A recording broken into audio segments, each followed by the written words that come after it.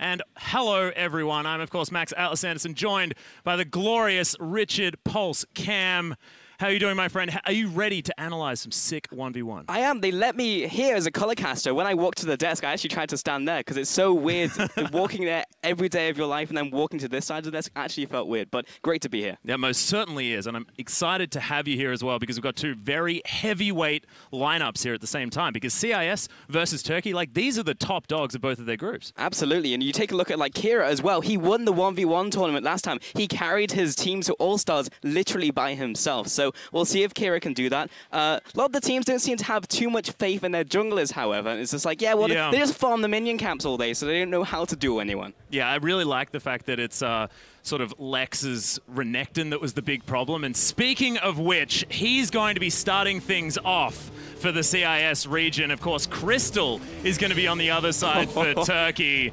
So we've got the Renekton player, of course, lost that 1v1 against a Kennen. It was Kami's Kennen from Brazil, and uh, he lost that at level 2. Yeah. So things didn't go so well. However, Crystal also not necessarily with, uh, you know, a lot of faith from his team. That's true. So a pretty down in the tier list. So it's Yeah. actually interesting in terms of theory, right? It's like, Yeah. do you want to send out your best players first? Do you send out like a likes of Kira, and then you just blast them, try and get those early points, or do you send out your meat shield and have them just die first, and then you send in the big guns? Yeah, well, if we go back to what we did in OCE versus EU, Yeah. we did do a little bit of that. I mean, I was first cab off the rank, and it was uh, definitely not because I was the best player. But you were the on team. superior meat shield. You did take out Cephas, so I mean, you just got three points right off the bat. I'm going to put that down on my resume, I think. Superior meat shield. Got it nailed. But we are tier. into the champion select here as Caitlyn and Nasus have already been taken away on the side of Team Ice as Kennen is going to be removed. Crystal does not want to deal with that one. Of course, I would have assumed that Lex would have banned that one,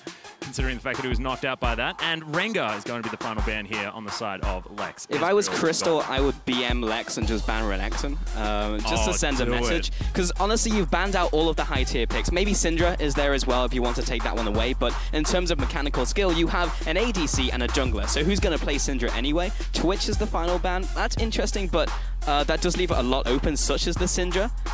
Oh my goodness, do it, Crystal. Don't be scared. Just eat it. That is that is a perfect answer, right? Just gonna eat you. I don't know if it is the perfect answer. We'll see if it actually locks it in. But we see another Miss Fortune, which is uh, pretty Yeah. cool. We saw the 1v1 Miss Fortune yesterday. Oh my god, he's doing it. He's actually done it. Okay. We have unclogged the frog 1v1. unbottled the axolotl. we could be here all day doing We this. could. But Lex is back to the Miss Fortune, of course. It is a power pick here. We've seen her banned away a few times. That uh, Make It Rain being relatively strong, but we haven't seen all that much Thunderlords, which is odd because, I mean, that was the, the big tactic, wasn't it, with the, the Miss Fortune? yeah, pretty much. You put the Thunderlords on, and then you get the proc coming in from Make It Rain. Uh, the other tactic I was thinking maybe yesterday we might see, at least in the mirror matchup, is you actually just go full AD, and you actually max uh, the double up. So you can get that one golden double up that just chunks your opponent for half their health. In a matchup like this, where it's a battle of attrition against Tahm Kench, you'll probably see the Thunderlords come out. Yeah, and we actually did see the you know the, the the double up start actually win out yesterday when we saw the MF mirror match. So we'll see whether it does happen again. But I'm just excited about a Tahm Kench. I actually Yeah. don't care what's Me going too. to happen.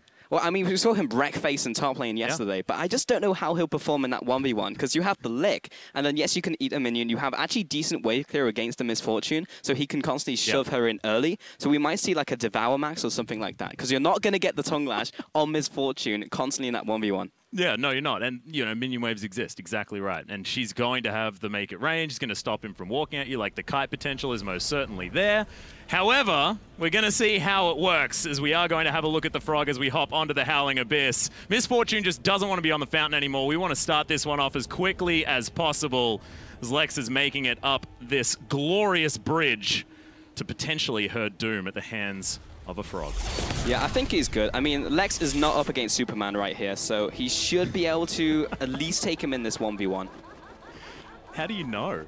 mean, I don't know. I'm making a prediction. I'm the analyst here. Oh yeah, sorry, sorry. I you gotta take my word as gospel, mate. Just not used to it. yeah, me neither. Well, who's who's better at the uh, the emote spam? Though? I mean, that's that's the real battle that's going on right now. I mean, top tier. She is. Well, her Um, laugh is incredibly frustrating. I'll give you that one. Did you know there are five champions in the game which you can actually uh, repeat your emote? So you just uh, spam constantly. Nasus is one of them. Heimerdinger, very annoying to play against. See, this is what we've been missing with Pulse as the play-by-play. We don't get this gold in This- the analysis. This is the analysis you're looking for, ladies and gentlemen. Oh, Uh, Lex has stunning. immediately gotten the uh, control over the minions, though, which is to be expected because you're against Tahm Kench. Um, you want seven minions, that gets you level two, but it doesn't matter when you're actually not really fighting over them. So Crystal needs to wait a bit until uh, he actually gets a couple levels. What did he go for? He went for Tongue Lash first, so I would have preferred him to go to Devour here, Atlas, so he could actually push back. Um, but he's having a pretty rough time, so he's going to have to CS under tower. Should be able to get there just fine. Double up, not going to find the Tahm Kench as he's just waddling around. And what is going to be the strategy here? Is like Crystal, is he forced to go for some sort of level 3 all-in, something like that? Does he want to hit a specific level? I could imagine Abyssal Voyage is going to do practically zero on this map as far as getting him an upper hand in a 1v1 scenario.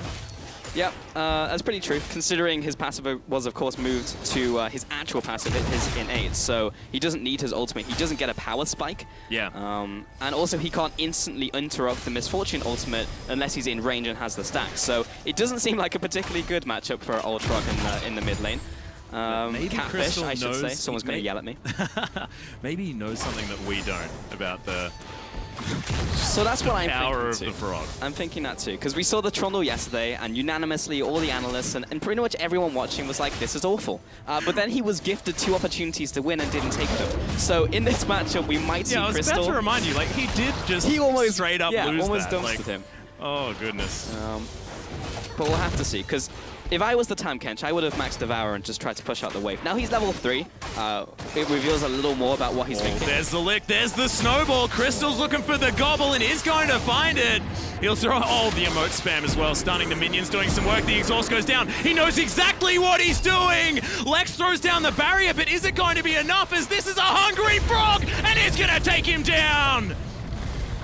What did I just witness? You just witnessed a frog turning it all around. No longer will he be food on the plate. He will be the one eating you, and it most certainly happened.